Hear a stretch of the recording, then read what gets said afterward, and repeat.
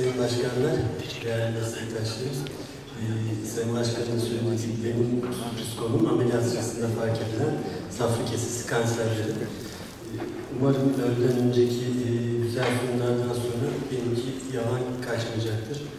Müsaadenizle ben bir slaytla safra kesesi kanseri hakkında konuyla da ilişkili gördüğüm birkaç başlığı e, değinmek istiyorum.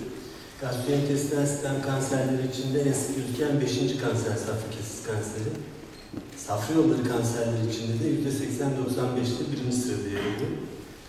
Kadınlarda 3 kat daha fazla, akılların çoğu 40 yaşından ileri gözüküyor. Safra taşları, safra polipleri, porselen kesi, helikobakter pylori e, gibi pek çok e, predispozan faktör olduğu söyleniyor. Coğrafi dağılımda belirgin farklar var. E, mortalitesi yüksek, e, ortalama 5 yıllık sağ kalım 30 yıl içinde %5'lerden %15'lere ancak çıkabildi.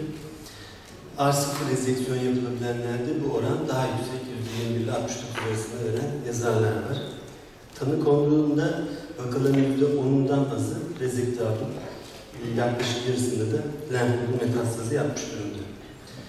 Dolayısıyla da eğer doğru yönetebilirsek şans eseri ameliyat sırasında karşılaştığımız safra kesesi kanserlerinin ortalama hayat beklentisinin tüm ortalama karaciğerin safra kesesi daha iyi olması gerekiyor.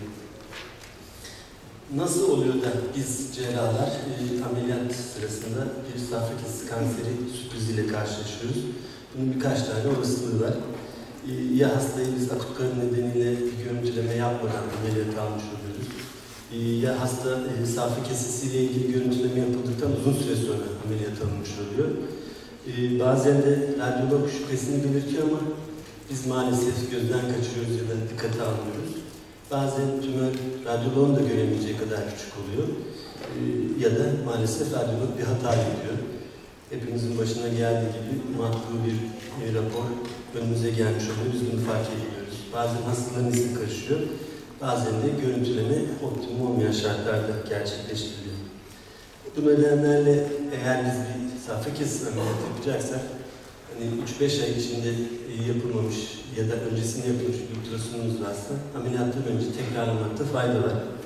Bunun dışında radyoloğun bazen dikkatimizden kaçabilecek işte safra kesesi duvarında lokal kalınlaşma ya da daha önceki tetkiklere göre biraz daha büyümüş bir polip gibi özellikleri göz ardı etmeyip daha ileri görüntüleme yöntemleriyle teyit etmemiz lazım.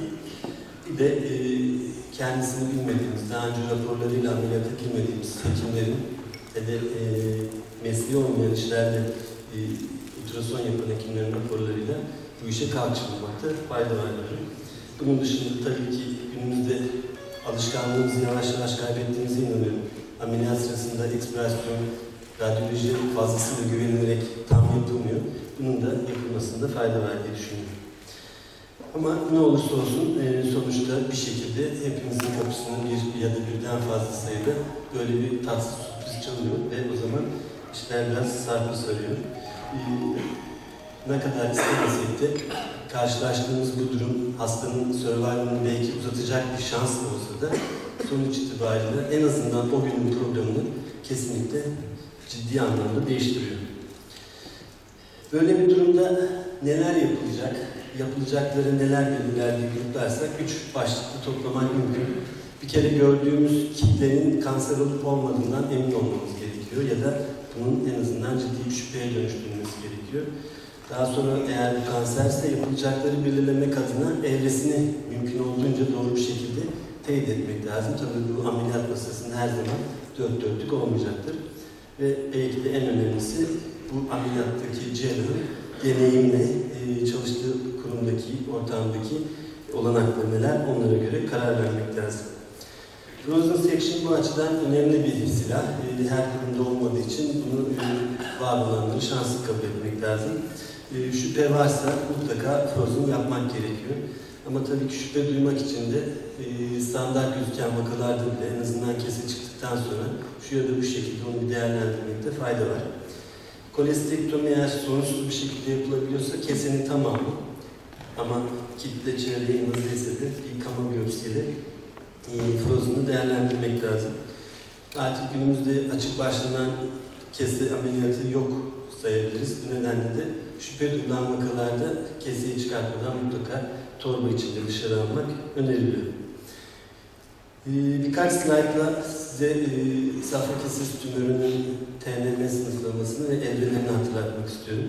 Ee, Burada T istediğimiz e, tümörün sadece epitelde sınırlı kaldığı ka- karsinoma enstitü vakaları. T1 ikiye ayrılıyor. Bir A ve bir B olmak üzere. Bir A'da lamina propria, bir B'de de e, kas tabakasının içine büyümüş ama henüz serozoya ulaşmamış tümörler. T2'de tümör perimusküler fibrozluk doku içine büyüyor. T3'de serozoyu aşıyor. D veya doğrudan karaciğerin içine, D veya komşu organların içine doğru invaze oluyor.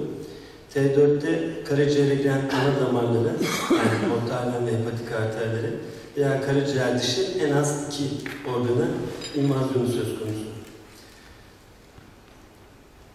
M'de e, M1'den kastedilen e, hepatoduodenal ligaman içindeki metastazlar, M2'den kastedilen bunun ötesinde aorta çevresindeki e, nerv noktalarını kastediyoruz. M1'de metastaz, uzak organ metastazı yapması durumu.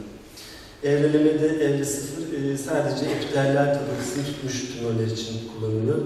E, evre 1, T1, A veya B olmak üzere e, ne nervli metastaz olacak ne uzak metastaz olacak. Bu da tümörlerin propria veya kas tabakasının içine kadar büyümüş, kese dışına çıkmamış.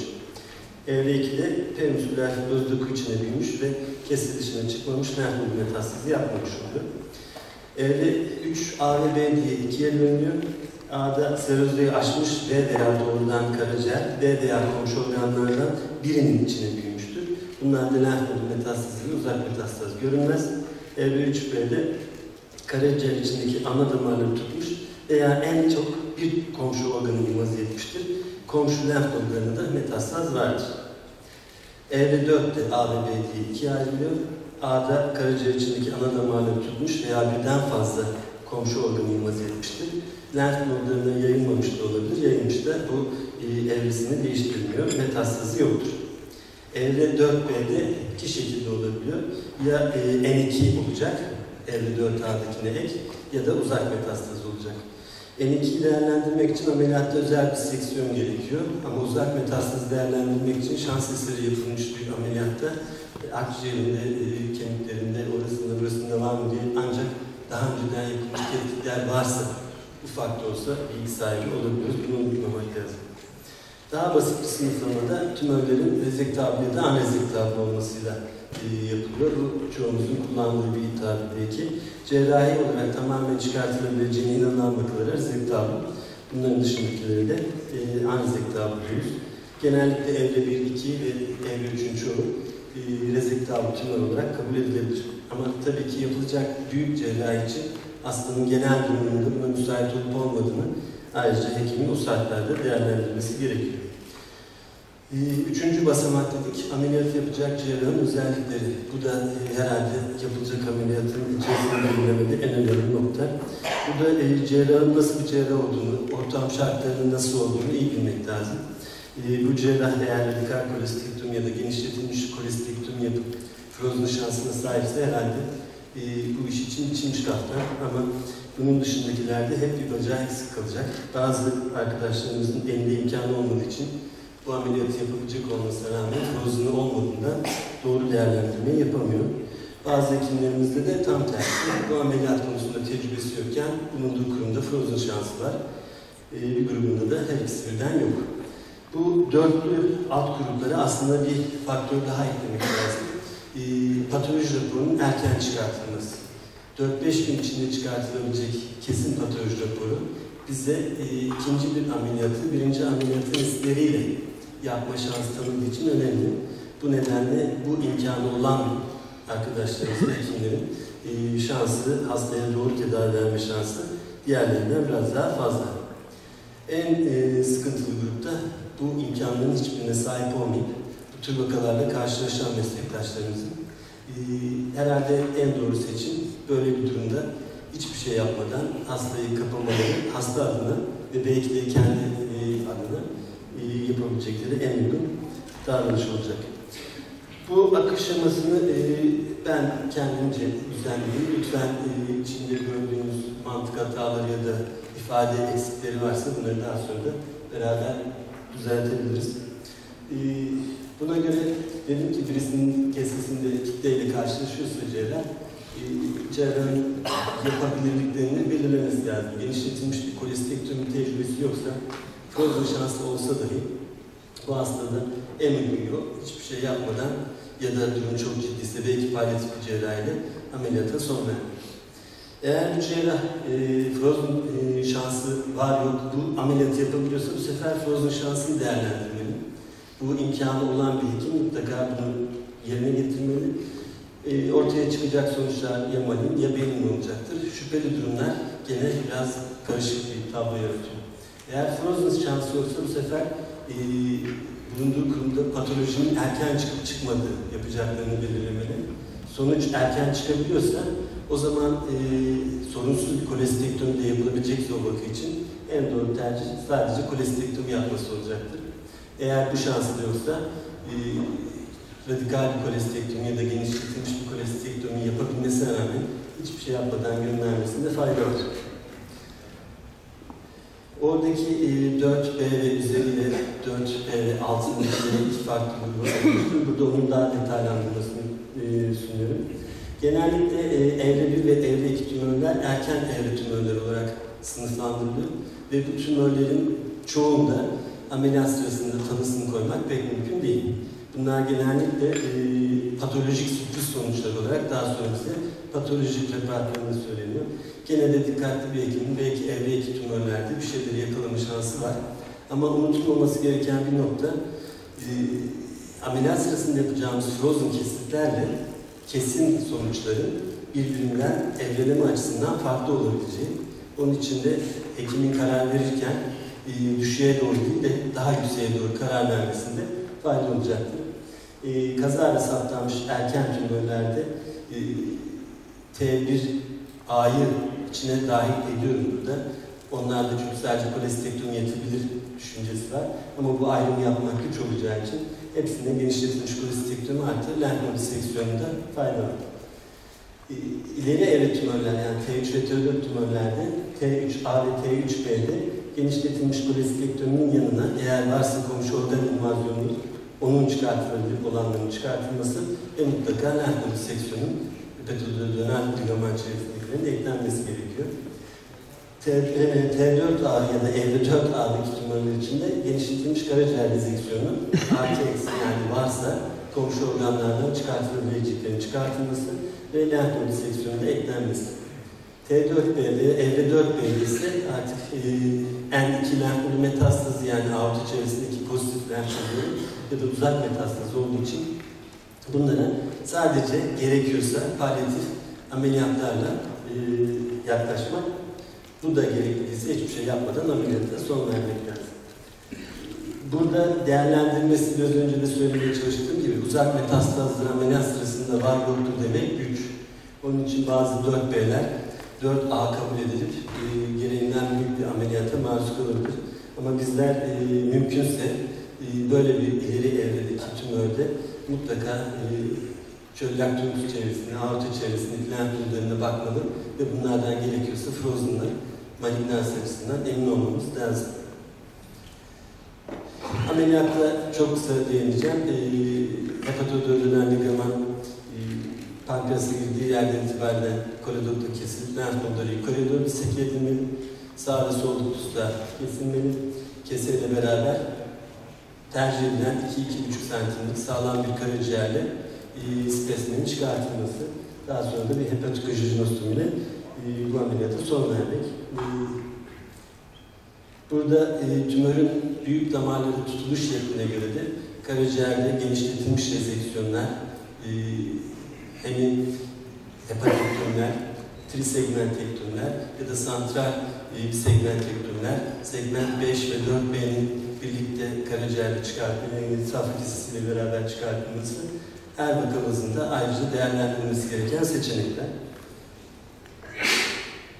Son olarak da 3-4 slaytta çeşitli kaynaklardan safra kesesi kanseriyle karşılaşıldığını ve yapılması gereken deneyimli tecrübeli cerrahların bazı önerilerini sıralamaya çalıştım.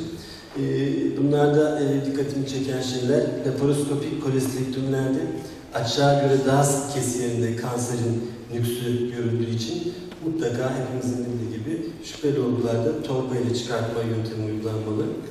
E, ameliyat sırasında safra kesesi perfora olan olgularda ameliyat sonrası hastalığın nüksü ve prognozu e, sağ kalın kötü yönde etkilediği için bu konuda elimizden gelen gayreti göstermek gerekiyor. E, safra kesesi dışında ekstrahepatik safra yollarında yaklaşık %15 oranında tümör infiltrasyonu var ve bunların bazılarında skip e, yayılımlar var. Yani sağlam bir bölgeden sonra daha uzakta tümörün yüksekliği yapılan çalışmalarda gösterilmiş. Onun için mutlaka safra yollarının tamamının çıkartılması e, faydalı olacak gibi duruyor. E, hastada radyolojik olarak biz daha önceden ameliyat sırasında değil de T3-T4 safra kesesi kanseri düşünüyorsak bunlardan açık genişletilmiş bir kolestektomi planlamadan önce laparoskopik olarak girip peritoneal karsinomatozi ekarte etmeliyiz. Çünkü bu oldukça sık görülen bir tablo. İnfundibulumda yerleşmiş, kese boyunda yerleşmiş tümörlerde mutlaka sahip patik arterin tutulup tutulmadığını ameliyat öncesi bilmemiz lazım. Aksi takdirde kendimizi bir anda e, beklemediğimiz bir e, genişletilmiş sahip patektomi e, karşısında bulabiliyoruz. Bunun ötesinde her e, infundibulumu tutmuş, her sağ hepatik arteri tutmuş vakada da bu tümör çıkmaz e, diye düşünmemek lazım. Çünkü bazı vakalarda aksesuar ya da replese sol hepatik arter olduğu zaman e, portal geniş bir kumaş sağladığı için onunla birlikte rezeki gerekirse peçler konup e, sol hepatik arter kurtulduğu için ameliyatı, geniş bir ameliyatı yapmak mümkün oluyor. E, önerilen şeylerden bir diğeri e, safra kesesini karaciğer içinde keserken mutlaka birkaç dikişle tutmakta fayda var. E, kestikten sonra bulmak güç olabiliyor. E, mümkün olduğu kadar da her lenfatik diseksiyonda yapıldığı gibi lenfatik kanalların bağlanmasında e, ciddi fayda var. Ameliyat sonrasında bu bize e, daha az drenajda kendini gösterecek. Özellikle söyleyeceğim şey e, bir safra kesesi kanseriyle baş etmede başarıyı getiren faktör cerrahın e, bu tür ameliyatlardaki tecrübesi, elinin altında bir frozen şansının bulunması ve e, mümkünse de her halükarda patoloji sonucunun konuştuğu özel vakalarda yapılsa dahi bir önemli bir özellik 4-5 gün içinde çıkartılabilmesi. E, ben e, daha fazla vaktinizi almak istemiyorum. Zaten söyleyeceklerim de bitti. Teşekkür ederim.